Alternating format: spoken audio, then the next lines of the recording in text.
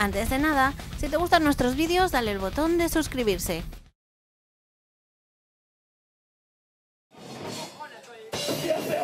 El sábado 27 de octubre asistimos en la sala Suami Ballroom de Gijón a un bolo con un cartel de tres bandas, realmente muy interesante. Con un temporal de frío y nieve que azotaba la región, el mejor sitio en el que se podía estar era probablemente en una sala disfrutando de un buen concierto. Minutos antes estuvimos entrevistando a los chicos de Downlight, que tenéis el vídeo disponible en este nuestro canal de YouTube. Esa noche se juntaban tres formaciones con estilos diferentes, lo cual hacía el cartel aún más atractivo.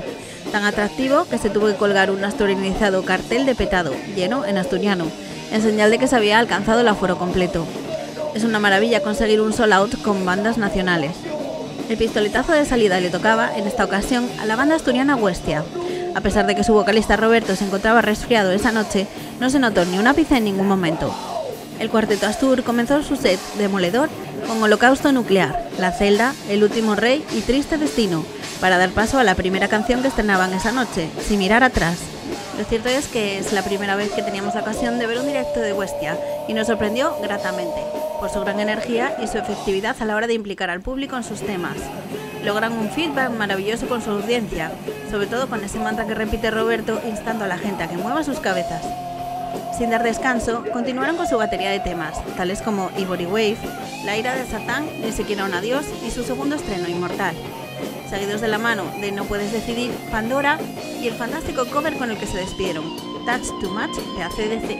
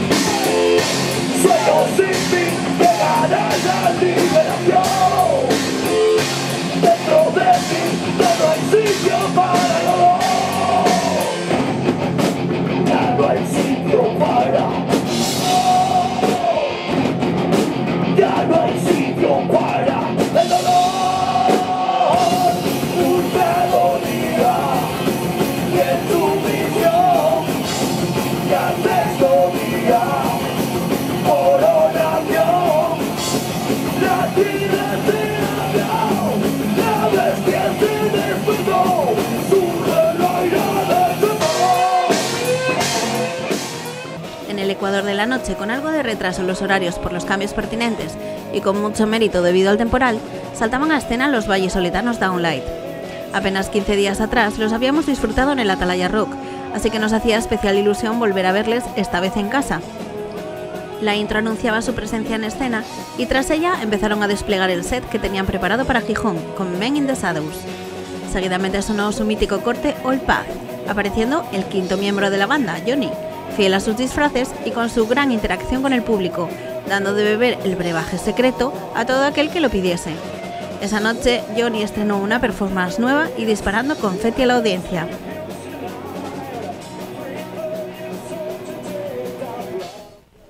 Continuaron con White Wolf, corte inspirado en la saga literaria de Gerald de Rivia y el videojuego The Witcher, para estrenar una nueva canción, Hero's Sorrow.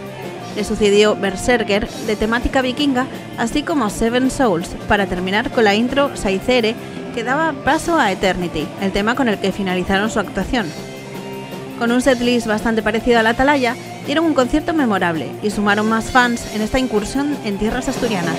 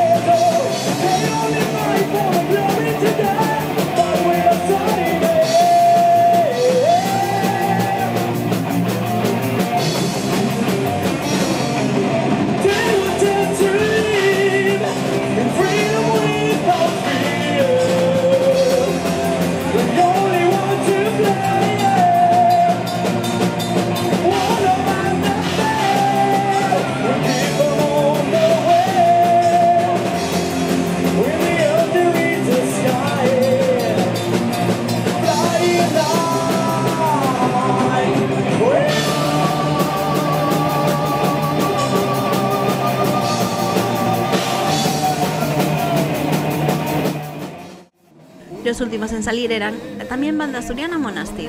Está claro que cuando ellos aparecen todo se convierte en una fiesta, incluso si disponen de poco tiempo como era el caso de las bandas del cartel.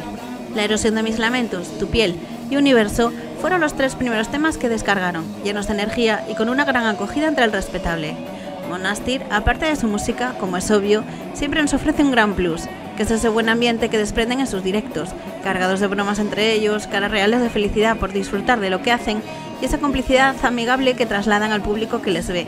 Repito, es innegable que se nota cuando uno hace algo con lo que se divierte, su energía es contagiosa, y si actúas ante muchos amigos, todo se convierte en miel sobre hojuelas.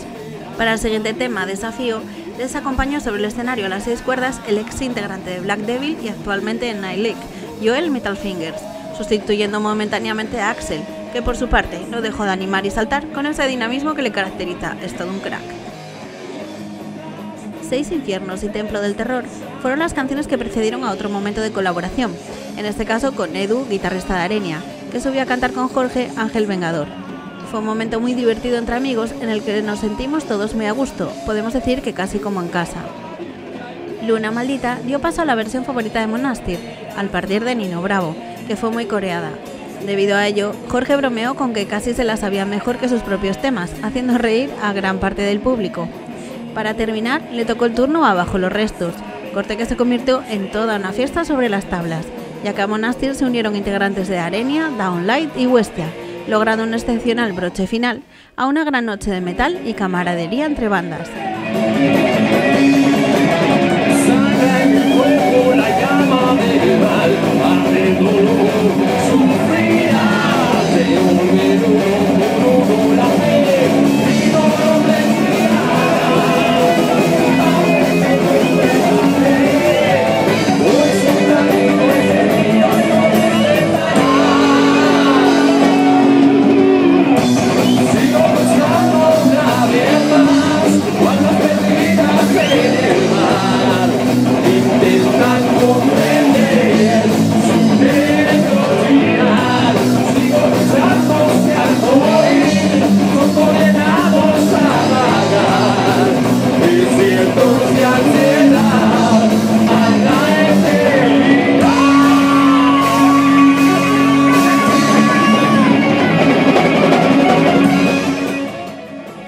comenta eso de que hay que apoyar la escena nacional y es totalmente cierto. Lo que nadie te dice es que hay ocasiones en las que quizás te lo pasas mucho mejor en un festival de estas características con un precio de entrada irrisorio que en un mega concierto de cualquier superbanda. Así que sí, apoyad lo que podáis la escena nacional, amigos, si no, no habrá futuro para el metal.